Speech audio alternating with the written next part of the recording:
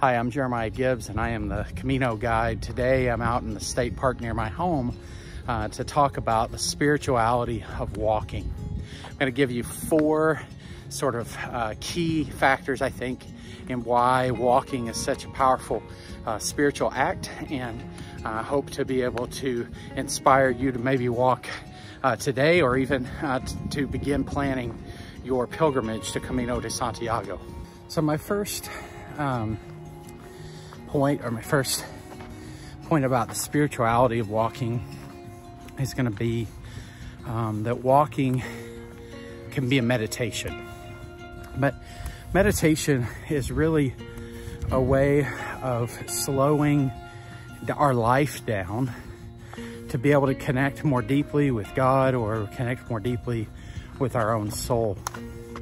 And there's lots of ways that you can do that, but a lot of the monastic communities would say that the most important thing that you can do is pick up an activity that sort of keeps your mind uh, busy with a part of that activity and allows uh, allows the rest of your spirituality to connect without distraction. So the monastic communities in the ancient world and sometimes even still today will pick up practices, work, which is fairly um, mindless to do. So you might think about um, the monasteries that make and sell cheese or make pottery. These activities, um, while skilled activities, they are the kind of thing that requires uh, a lot of time and repetitive um, activity. That repetition um, allows them the space then to make that activity into an act of prayer. And um, I've done this for a long time, long before I discovered Camino. I knew that walking, sometimes even riding my motorcycle, was allowed me the space to be able to uh, focus more deeply on on meditation, on prayer, because my part of my mind is occupied with the activity. So when I'm out here walking, I'm thinking about the path that's right in front of me, thinking about how my feet feel.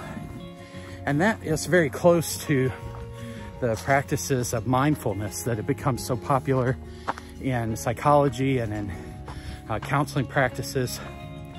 Um, there's a kind of mindfulness just in um, the ways that we walk.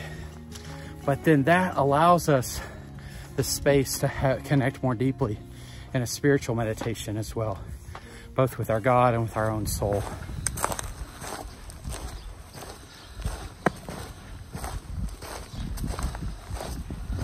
The second thing I'd like to say about walking and spirituality is I believe that walking is the speed of life. Walking is the speed of life. I remember the first time I went on Camino and I spent a couple of weeks really about two and a half weeks, um, the first Camino, without driving in a car or train. And I remember the first time I got into a vehicle again, and I thought, wow, this thing is going so fast. I started to realize that our bodies and our way we're made was never to go 30 or 50 or 100 miles an hour. We naturally travel just a few miles an hour. And I think that when you travel very fast, you miss a lot. I think when you're walking, you see the flowers that you would otherwise drive by. You see the people that would really just be a blink in a car. But when you're on a trail or when you're walking through a town, they have a new kind of presence to you that they didn't have before.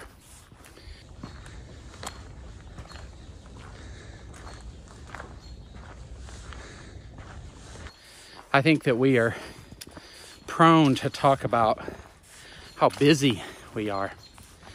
When I ask somebody, I see a colleague at work or see a friend at church, have a talk with them. How are you? How are you doing? I'm so busy. And we often wear busy as a badge of honor. And I don't think busy is a badge of honor. So I want my life to be slowed down a bit. And when I'm walking, my life has to slow down enough to begin to notice things. Back to that concept of mindfulness that I mentioned before. Walking helps me to notice the things that are around me.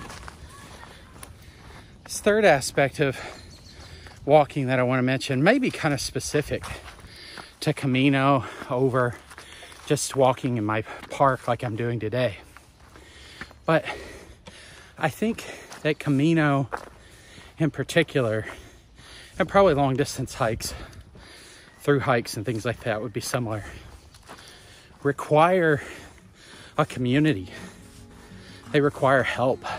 I was watching a documentary recently uh, on the Spirit and Nature YouTube. It's kind of a new YouTube channel um, where uh, this married couple talk about their uh, Camino journey and have a great documentary. Uh, they're both in television, and so the cinematography for their documentary is great. You really should check it out, and I'll link to it up above. Um, but there was a moment where uh, the husband in that documentary needed help from somebody in Pamplona, I believe it was. And he was really down and having a hard day. And when that person helped him, it sort of changed his whole outlook on the day. And really, from that point on, he becomes uh, such a champ for uh, the struggles his wife is going through and so on um, because that help really meant something to him. And I think for most of us, to have someone uh, caring for us, reaching out to us, really makes a difference. And uh, and we learned that on Camino. We learned that there's a spirituality of doing this together. Um, so it's a powerful aspect of Camino spirituality, walking in particular. The last point that I'll mention about the spirituality of walking really has to do with being out in nature and being more connected with the earth. You know, so many of us spend all of our waking hours um, inside of an air conditioned building, unaffected by what's going on outside. The weather could be good or bad, and it doesn't make much of a difference for my day. Um, but when we get out and begin to walk, we're more connected with the earth that God has made us to steward over. Walking takes time, you know, I, I don't, if I were to go out for a run, I probably would only be outside for 30 minutes or maybe an hour. But oftentimes when I go for a walk, I'm outside connected with the earth for hours on end. And to a certain extent at its um, at its mercy if it gets bad weather the ground is uh, particularly the terrain is particularly tough. I'm at its mercy and that connects me more deeply to it